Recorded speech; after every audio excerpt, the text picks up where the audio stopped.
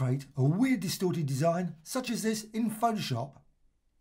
Go to the filter menu and filter gallery. Go to halftone pattern, you can find that in the sketch section.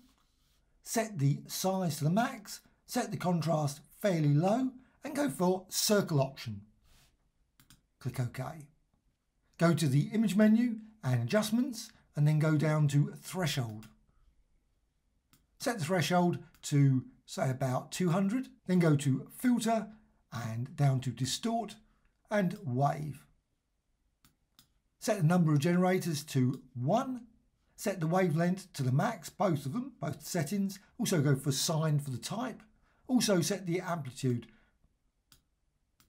Just keep that fairly low. Once you've done that, go for wraparound and click OK. And you can always apply it multiple times. So if you want to, just go to filter and wave. And you can see you can distort it again. Hope you found this of interest. Thank you much.